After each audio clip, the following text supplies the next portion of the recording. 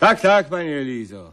Liznęło się i tego, i owego słowo honoru. Życie ma pan krótkie, ale ciekawe. Zazdroszczę panu, panie Sułku, tych tysięcy ciekawych przeżyć, szalonych przygód i, i niebezpiecznych powikłań. Będzie pan miał o czym wnukom opowiadać. A i ja przy trzaskających na kominku szczapach chętnie wsłucham się w jedną z pana ciekawych opowieści. Na razie nie mamy kominka. Z Dunem jeszcze nie byłem, słowo honoru. Będzie pan i z dumem, panie Sułku. Wprost wierzyć mi się nie chce, żeby nie mógł pan być kiedyś po prostu zdolnym z dumem. Fakt, że to niewykluczone. I faktem jest, że posiada pan niewyczerpane źródło najprzeróżniejszych talentów. I faktem jest, że wszystkiego uczy się pan natychmiast. I faktem jest... Co? Bo tak słucham i słucham. I faktem jest, panie Sułku, że ja... No, Że ja kocham pana, panie Sułku. cicho. Przypomina mi to przygodę, która przydarzyła mi się, kiedy byłem rozchwytywanym hydraulikiem. Niech pan opowie, panie Sułku, błagam. Jako ceniony specjalista wzywany byłem do zadań specjalnych, do zadań przekraczających umiejętności przeciętnych fachowców z mojej dziedziny. Boże, to pan taki był. Taki byłem. Pewnego dnia, a było to 14 listopada bieżącego roku, wezwano mnie do przetkania zlewu. Zabrałem ze sobą przetykacz. Ja, jaki przetykacz, panie Sułku? Gumowy. Ach tak, nie wiedziałam o tym, prawda? Ponieważ nigdy nie była pani hydraulikiem. A więc zabrałem ze sobą przetykacz, wsiadłem na rower i w drogę. Boże, i nie bał się pan. Nie, a czego miałbym się bać? Chociaż jestem tylko słuchaczką pana opowieści, cała drże już na samym wstępie. Drży pani z zimna, pani Elizo. A od kiedy przestał pan być szklarzem, w oknach naszego mieszkania brakuje kilku szyb. A, a, ale tym razem jednak drżę ze strachu. Och, panie Sułku, jak, jakże ja się niepokoję o pana. No już dobrze, dobrze. No, skończył pan na tym, jak pan wsiadł na rower i w drogę. Przyjeżdżam na miejsce, Tak?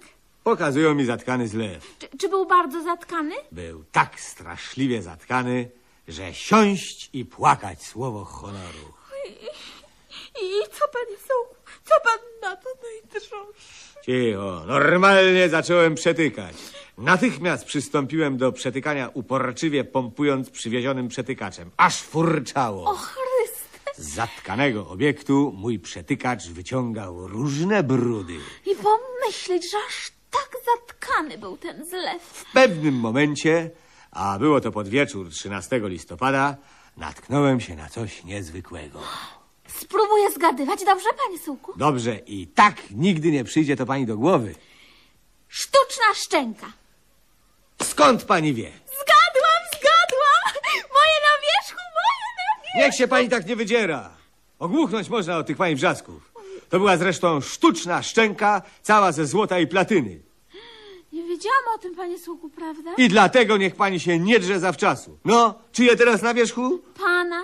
I po co się tu było wydzierać? Panie Sułku, a czy mogę wiedzieć, co pan zrobił z tym prawdziwym skarbem? Z tymi złotymi zębami, tak? I, I platynowymi?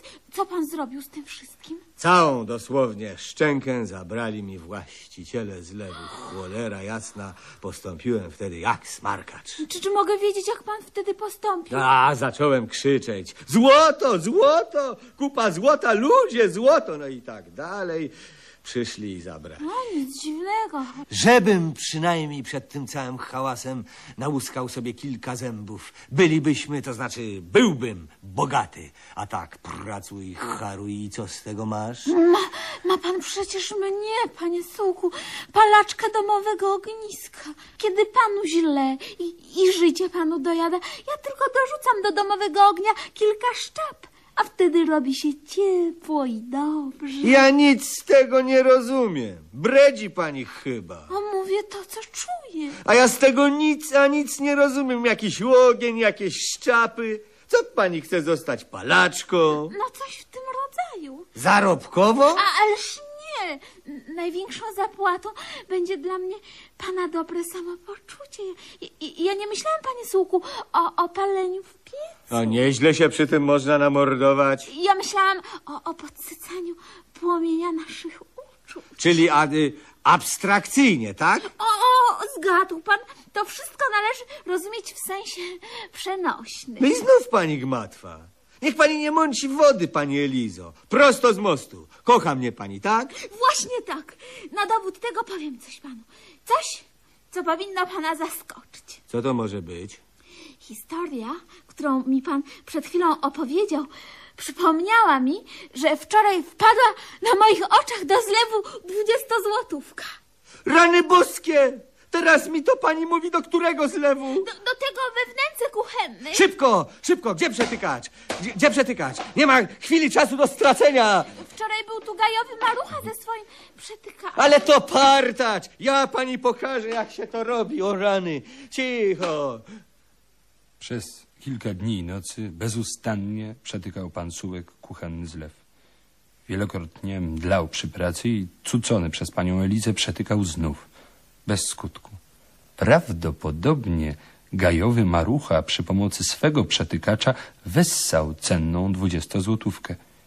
Jak jednak teraz udowodnić to gajowemu?